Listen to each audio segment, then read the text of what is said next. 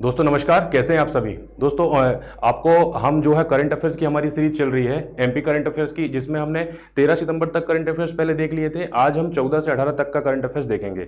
देखिए डेली इसलिए नहीं हो पाता करंट अफेयर्स क्योंकि एक या दो क्वेश्चन निकलते हैं मध्य प्रदेश के तो वो डेली नहीं हो पाता है। तो हम दो दिन में हम करने की कोशिश करते हैं, लेकिन अभी जो है आपको इसमें जो है तीन से चार दिन का करंट अफेयर्स में देखने को मिलेगा। तो चलिए शुरू करते हैं। आपसे एक ही रिक्वेस्ट है कि आप जो है, वीडियो को लाइक करें, चैनल को सब्सक्राइब ज़रूर करें।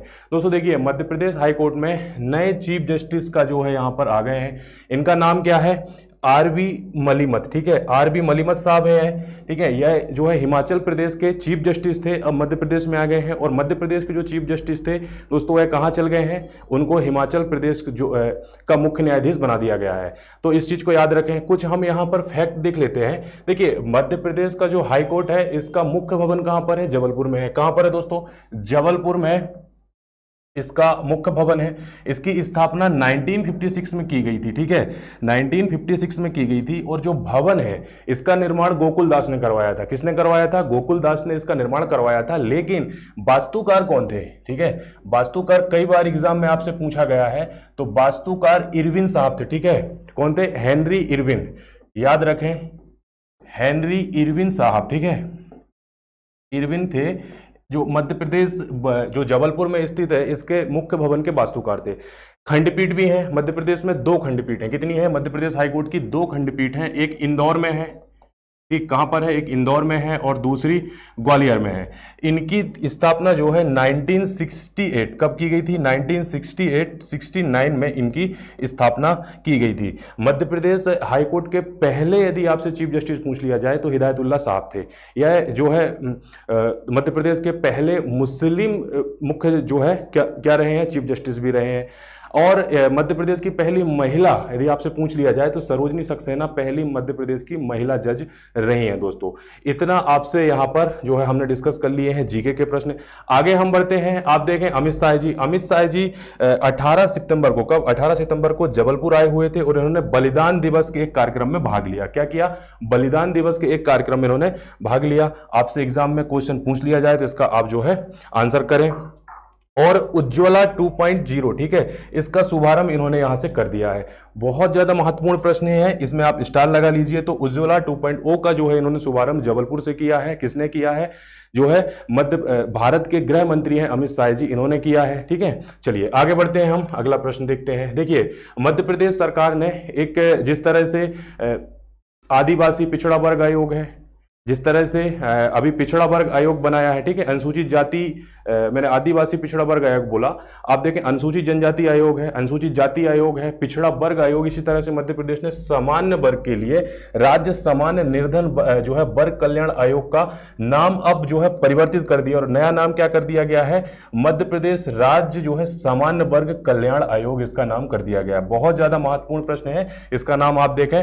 मध्य प्रदेश राज्य सामान्य वर्ग कल्याण आयोग अब इसका नाम जो है परिवर्तित करके कर दिया गया है मध्य प्रदेश सरकार के द्वारा। आगे हम बढ़ते हैं। देखिए, टीकाकरण अभियान मध्य प्रदेश में चलाया जा रहा है।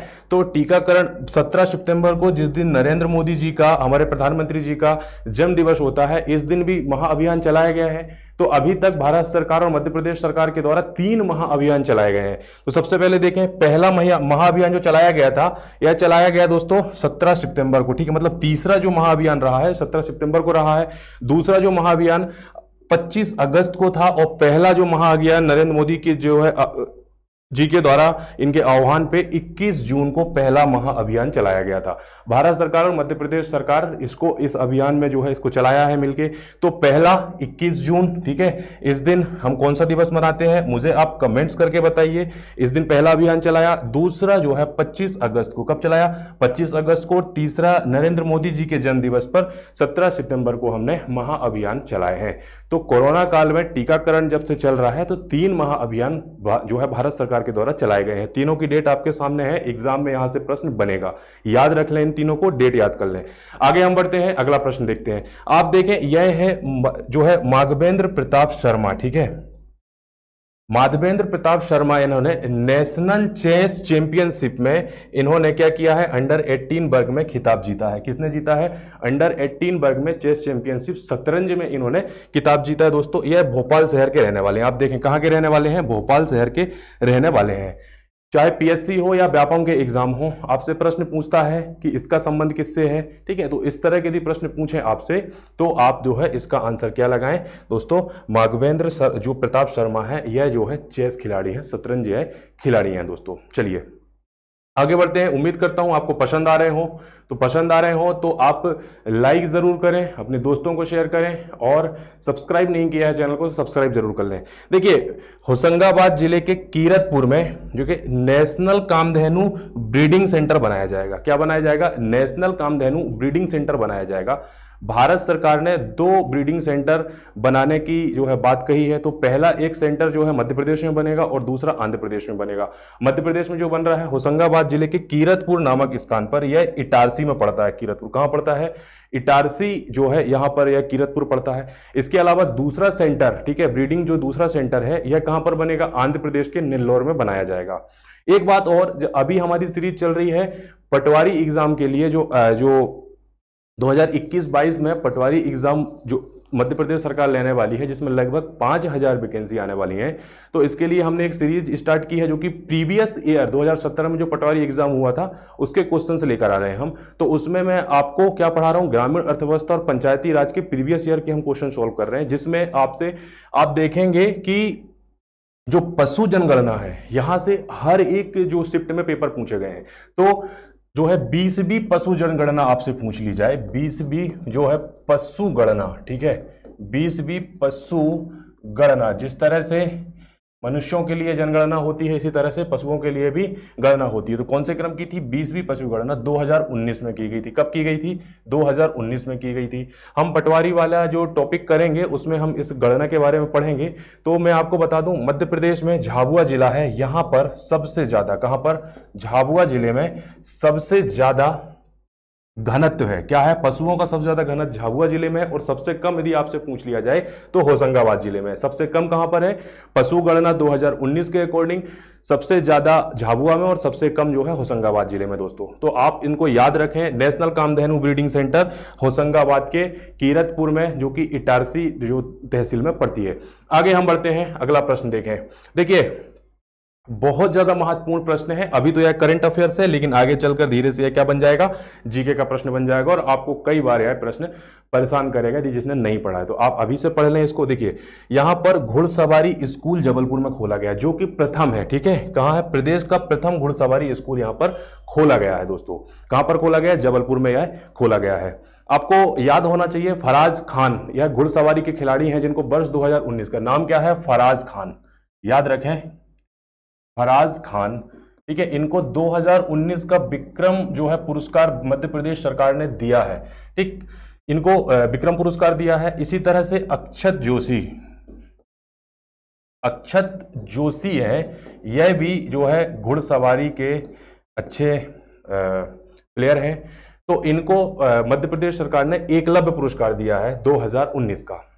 मैं आपसे पूछ लूँ कि मध्य प्रदेश घुड़सवारी एकेडमी मध्य प्रदेश घुड़सवारी अकादमी कहाँ पर स्थित है? तो इसका आंसर क्या रहेगा? मैं ही बता देता हूँ, इसका जो आंसर रहेगा भोपाल रहेगा। क्या रहेगा दोस्तों? भोपाल में मध्य प्रदेश घुड़सवारी अकादमी स्थित है। चलिए, आगे बढ़ते हैं हम। अगला प्रश्न देख लेते हैं। देखिए, मध्य प्रदेश सरकार ने एक अच्छा कदम उठाया है और जो अभी नितिन गडकरी इंदौर आए हुए थे और शिवराज सिंह चौहान के बीच में अब यहाँ पर कुछ बातें निकलकर सामने आई हैं, जिसमें आप देखें। देखिए राष्ट्रीय राजमार्ग परियोजना का इन्होंने यहाँ पर लोकार्पण कर दिया है 16 सितंबर को। और किसने किया है? नितिन गडकरी जी ने किया है। एक अच्छी बात है कि जो दिल्ली मुंबई एक्सप्रेस वे जो बन रही है तो अब वो हमारे मध्य प्रदेश से भी जाएगी। ठीक, कहाँ से जाएगी? मध्य प्रदेश से भी जाएगी और मध्य प्रदेश का आपने एन एच फोर्टी फोर नाम सुना होगा। पिछले बार यहाँ से एक एमपीपीएससी ने प्रश्न भी पूछा था। तो देखिए, परिवहन से संबंधित हर बार एमपीपीएससी एक ना एक प्रश्न पूछता है। तो हो सकता है आने वाले एग्ज़ाम में आपको यही प्रश्न देखने को मिले। तो एन एच फोर्टी फोर के बारे में आप जान लें। यहाँ से देखिए इसी से जो है दिल्ली मुंबई एक्सप्रेस वे गुजरने वाली है। तो देखिए, नागपुर जब महाराष्ट्र की बॉर्डर लगती है सिवनी से तो कुरई खवासा नामक स्थान है। यहाँ से एक जो है रूट बनाया जा रहा है। वहाँ पर से क्या है? एन में ही कौन सी मुंबई और दिल्ली जो एक्सप्रेस वे है, यहाँ से गुजरेगी। तो आपसे पूछ लेगा कि जो दिल्ली मुंबई एक्सप्रेस वे गुजर रहा है, वह कहाँ, कौन से राजमार्ग से होकर गुजरेगी? तो एन एच से होकर यह गुजरेगी। चलिए, आगे बढ़ते हैं हम। अगला प्रश्न देखते हैं। आप देखें, यह है क्या है? पूजा जाट। हमने इसके बारे में एक मैंने शॉर्ट वीडियो भी बनाया था। पूजा जाट है। यह ओस्लो में वर्ल्ड सीनियर कुश्ती चैंपियनशिप में भारत का प्रतिनिधित्व करेंगी। यह मध्य प्रदेश की पहली रेसलर है। कौन है दोस्तों? मध्य प्रदेश की पहली रेसलर हैं। इससे पहले यह दोस्तों, यह एथलेटिक्स खिलाड़ी भी रह चुकी हैं, लेकिन इनकी कद काठी थोड़ी कम है, इस वजह से इसमें इनको सफलता नहीं मिल पाई। तो इन्होंने दूसरे गेम में अपना प्रयास किया, ठीक है? दूसरे गेम में गई। तो अब यह क्या है? रेसलर है। क्या है? रेसलर है, कुश्ती खिलाड़ी हैं। और यह देवास ज़िले के, जो है रहने वाली, देवास ज़िले की खाते गाँव, कहाँ से? देवास ज़िले के खाते गाँव, ठीक यहाँ से है संबंधित है। तो आप याद रख लें, पूजा जाट कौन है? यह कुश्ती खिलाड़ी हैं। ओस्लो में जो वर्ल्ड सीनियर कुश्ती चैंपियनशिप होने वाली है इसमें भारत का प्रतिनिधित्व करेंगी और मध्य प्रदेश की पहली रेसलर यह है। चलिए, आगे बढ़ते हैं हम, अगले देखें। आप देखें, इनका नाम कितना चमकता हुआ चेहरा है दोस्तों, इनका इनका नाम है विवेक सागर प्रसाद। क्या नाम है? विवेक सागर प्रसाद है। Rising star of the year से इनको सम्मानित किया गया। क्या किया गया है? राइजिंग स्टार ऑफ़ ईयर से इनको सम्मानित किया गया है। आपको पता होना चाहिए कि जो कई सालों के बाद में भारतीय हॉकी टीम ने टोक्यो ओलंपिक में कोई पदक दिलाया है तो उसमें यह खिलाड़ी रहे, ठीक है? उस विजेता टीम के यह सदस्य रहे हैं। क्या रहे हैं? यह मिडफील्डर, एक बात याद रखें, कई बार एग्ज़ाम में पूछता है, इनका काम क्या है? हॉकी तो है, लेकिन यह जो है, क्या करते हैं हॉकी में? तो यह हॉकी में क्या है? मिडफील्डर है दोस्तों। इनको क्या किया गया है? राइजिंग स्टार ऑफ़ ईयर से सम्मानित इनको किया गया है। होशंगाबाद के रहने वाले हैं। आगे हम बढ़ते हैं। देखिए ईज ऑफ़ डूइंग बिज़नेस ठीक है? यह रिपोर्ट आई है और मध्य प्रदेश का इसमें पिछली जो रिपोर्ट आई थी, उसकी तुलना में तीन स्थान इसमें सुधार किया है। तो पिछली बार मध्य प्रदेश इसमें सातवें स्थान पर था, सातवें स्थान पर था और अब मध्य प्रदेश यहाँ पर चौथे स्थान पर आ गया है। तो अच्छा प्रदर्शन यहाँ पर मध्य प्रदेश ने किया है। देखिए इसमें क्या होता है बिज़नेस की करने के लिए सुविधाएँ सरकार द्वारा जो दी जाती हैं, ठीक है? चाहे सिंगल विंडो क्लियरेंस हो किसी को यदि बिज़नेस करना है, ज़्यादा भटकने की ज़रूरत नहीं है। पारदर्शिता हो ट्रांसपेरेंसी के साथ सरकार यदि काम कर रही है प्रशासन काम कर रहा है तो इसमें सरकार की जो ease of doing business report है, इसमें रैंकिंग सुधरती है प्रदेश की। तो इसी तरह से सरकार ने, मध्य प्रदेश सरकार ने इस क्षेत्र में अच्छा काम किया है और सातवें स्थान पर हम देश में आ गए सातवें स्थान से हम चौथे स्थान पर अब देश में आ गए हैं। चलिए, आगे बढ़ते हैं। आप देखेंगे अखिल भारतीय बाघ आकलन 2022 की तैयारी शुरू हो गई है। बाघों की गणना के लिए जो पूरे भारत के स्तर पर, भारत में कितने बाघ हैं, इनकी गणना स्टार्ट हो गई है। तो यह गणना कब होगी? 2022 में। तभी इसकी तैयारियाँ स्टार्ट हुई हैं। ठीक, इस वर्ष, यह अक्टूबर से दिसंबर में तीन माह में यह कंप्लीट कर ली जाएगी। ठीक है, तीन माह में जो बाघों की गणना होनी है पूरे देश भर में, तीन माह में इसको कंप्लीट कर लिया जाएगा। डेंगू से जंग, जनता के संग यह अभियान चलाया है।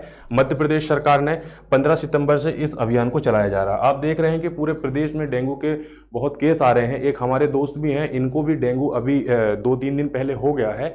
तो आप भी सतर्क रहें, ठीक है? आसपास कहीं यदि पानी भरा हो तो उसको आप खाली करें, ठीक? ऑल आउट लगा के रखें, जो भी सुविधा है, अभी बचें, क्योंकि बहुत खतरनाक होता है और बेड भी इसमें हॉस्पिटल में नहीं मिल पा रहे हैं। तो इससे आप बचें। मध्य प्रदेश सरकार ने डेंगू से जंग, जनता के संग अभियान 15 सितंबर को जो है शुरू किया है।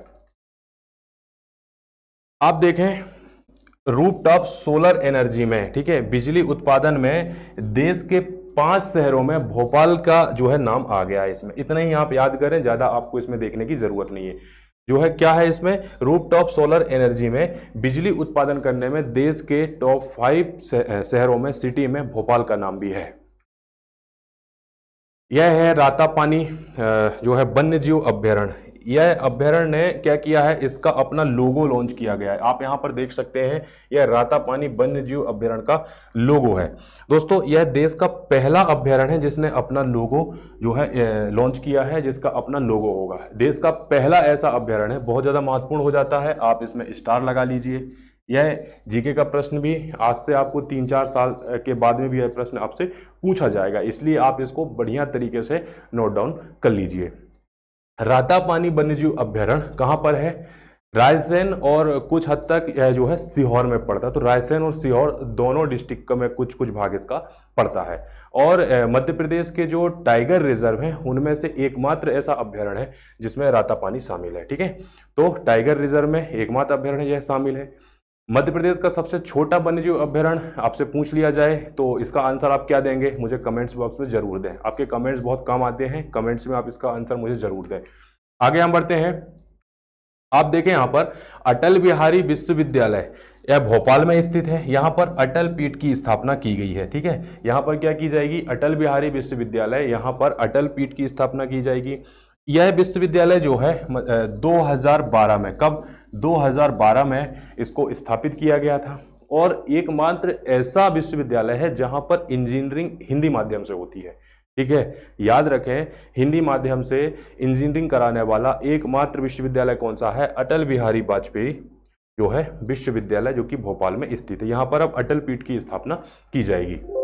तो दोस्तों आज के लिए आ, हम इतने ही जो है करते हैं। मिलते हैं आपसे नेक्स्ट वीडियो में। आपको पसंद आया हो तो लाइक ज़रूर करें शेयर करें कमेंट्स करके बताएँ कैसा लगा। जय हिंद, जय भारत।